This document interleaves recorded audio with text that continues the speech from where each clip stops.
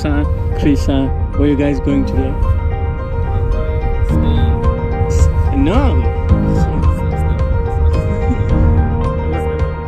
So what is snowmobiling?